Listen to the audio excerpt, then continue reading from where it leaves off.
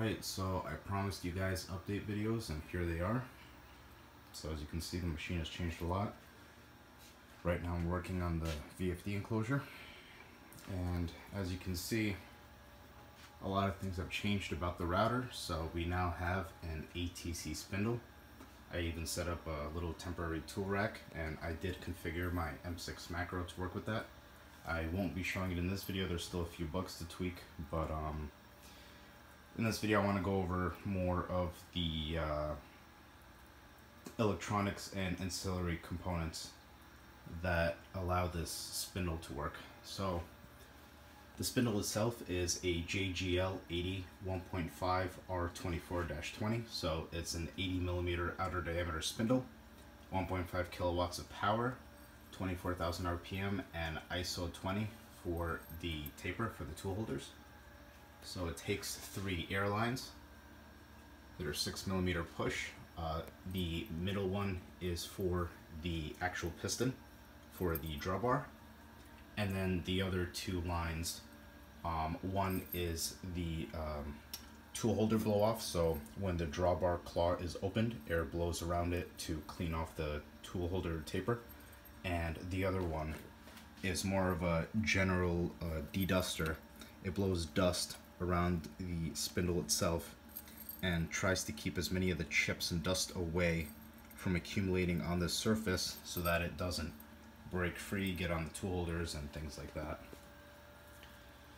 So the biggest issue right now that I'm having is the tools get dirty with chips and I have to really up the PSI to try to even that it still doesn't reliably get all the chips off so I'm still waiting on my linear rails and uh, piston cylinder assembly to come in and I'll be making my own um, pneumatically actuated tool holder. Basically, the uh, when the spindle comes back to get a new tool, it'll pneumatically move forward with about a 100 millimeter stroke.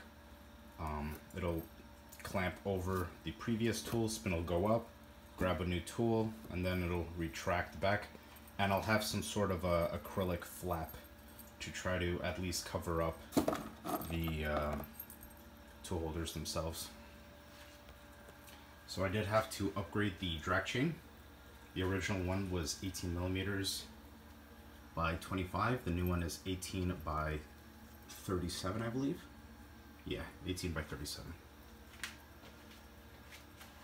So for the water cooling tubing, uh, the spindle required 8 millimeter OD, but 5 16ths is pretty much the same size. This is of course my air assist, and I'm using it as an air assist right now. I've been experiment I've been experimenting with an olive oil kerosene mixture, but um, it's much messier than I remember working with that. And in addition to that, it's not uh, the Venturi effect or the vacuum effect of the misting system does eventually pull the uh, coolant all the way through to the nozzle, but it does take quite a bit of time and I don't get any coolant being sprayed for about a few minutes. And then when I want to minimize the flow, because this produces a strong mist, when I want to minimize the flow, what ends up happening is when I turn the uh, when I turn the air assist on with the coolant, it barely, it doesn't want to pull it at all. So the first thing I need to do is I need to mount this higher. And the second thing is I want to play with ethanol or cool mist and also pressurized the um, coolant tank itself. In addition to that, I do plan on adding a solenoid on this end as close to the nozzle as I can to try to make things more reliable. So here we have the water cooling loop. For all you PC water coolers out there, this is going to look very familiar. So 240 millimeter radiator, cylindrical water reservoir, and a Laing D5 pump. I originally had a Chinese SC600, uh, which is a great value, but it did not have the head pressure or the flow rate that the spindle documentation required as a minimum. Uh, this D5 does a much better job. Just to give you an idea of what the flow looks like. And unfortunately, it- is very restrictive. This is very small ID tubing. It's only 3 16ths. And the spindle itself is also very restrictive. Uh, another thing about the water cooling is I actually had a leak. So as you can see, the piston assembly itself is basically made from a few layers of cylindrical aluminum. And there's O-rings sealing all the air and water lines. And I had a leak at this seal. Basically, the factory didn't properly install an O-ring. It was pinched. I did have a replacement on hand. So, not a good sign that they didn't leak test the spindle or a pressure test or anything like that, but um, I wish I had the VFD hooked up to show. But other than that, the run out on the spindle is fantastic. It's much quieter. These are the tool holders. These are Taiwan Parfaite brand that JGL or Jankin Tech is the company that produces the JGL line of spindles, which are their ATC spindles. But this is a Taiwan Parfaite tool holder. Um, these are spec'd to G2.5 at 30,000 RPM. And the company makes some really impressive tooling, so I'm more inclined to believe their specs, especially at the price that I paid for this, which was a little over 100 bucks. Um, yeah, ISO 20, ER 16. I have, however, been testing. So runout is great on these, and I'm using Maritool um, collets. But I've also been playing with these much cheaper tool holders that are basically a generic version. And as you can see, they even laser engrave the same spec on them. Uh, runout was just a hair bit worse on these, but even with very small diameter tooling, it should not be an issue. And these you could get for like 20 bucks shipped from China or less than 30 domestically shipped on Amazon Prime. So, and I do also use Maritool tool holders for these. Um, ISO 20 does also come in ER 20. So this is the pneumatic system. So uh, my air compressor is uh, one of those uh, silent oil-free types, and I will be upgrading it because this system does consume a lot of air. But basically what we have here is I have kind of a last stage water filter to try to get the last drops of air. I did also have an inline desiccant filter in here, but um, I decided to move that back closer to the compressor and get a bigger one as well. So after that we have an, by the way, this is a Pneumatic Plus, I believe is the company that sells these. I really enjoy the quality of their air equipment. So this is a SMC panel mount shutoff switch. Um, eventually this will be in its own enclosure, that's why this is panel mount. I also bought an SMC uh, air pressure gauge to see the pressure of the air coming into this system. After that it hits this Festo um, 4 gang pressure regulator manifold block assembly. Uh, this is great. Basically the all the regulators are independent from each other. So this could be at 20 psi, this could be at 90, doesn't matter. And then at the back of them it has the quarter inch MPT to a right angle 8 millimeter push. And it goes to this bank of three solenoids. They're 12 inch, uh, three, three port two way. This is for the piston, for the drawbar itself. This is for the air that blows around the drawbar to clean off the tool holders and this is my M7 air assist, I believe. And this is that continuous amount of air that gets blown um, around the spindle, keeping it clean. And this one isn't hooked up to a solenoid yet. I will eventually try to wire it up somehow to my controller so that when the spindle receives an M3, this solenoid will open up as well. So I'm figuring that out and I guess I'll have to add another solenoid for the um, or two solenoids, one to pressure the pressurize the coolant tank, which will obviously uh, be a different one than this one. I just assembled this with stuff I have laying around, and then another solenoid for, of course, the coolant line itself. Oh, and then another solenoid for the pneumatic tool changer, tool rack. Let's see if I can find the key. So this is the main electronics enclosure. As you can see, I added an illuminated LED switch. Let's try to move this machine back without breaking anything. Once again, I do apologize for the mess. It is not easy basically redoing your whole CNC. So you guys have seen this before in part one. A few things have changed. So first of all, my EMI filter was not properly wired. Um, as soon as the power goes in, it now goes straight to the breaker and then it goes to everything else. So the EMI was actually wired in before the breaker and since it's 10 amp rated, it was basically unprotected. And so I've since resolved that. Another thing I want to show is um, these little boards. These are RJ45 breakouts. So basically they'll let you use a normal ethernet cable, uh, uh, a decent quality one, try to get like a 23 or a 24 gauge. Um, but this is basically for just low voltage signal wires. Um, so basically it just breaks out the eight wire strands inside of it as well as even a connection for the shielding. And this is for my solenoid controls.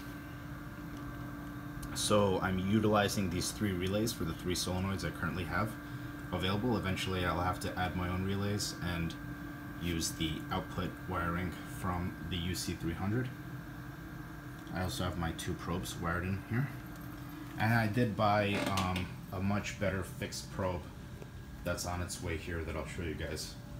But yeah, so the Ethernet cable, which of course will be replaced once everything is all enclosed and in a more permanent location. And then I have the same one here and this is all temporary. This is just for testing and for putting together my macro. So it's here and then um, ground and I believe voltage positive 12 volts, DC 12 volts is split between all of them and then the relays basically just uh, connect that to ground or uh, neutral or voltage negative or whatever it is to activate the solenoids.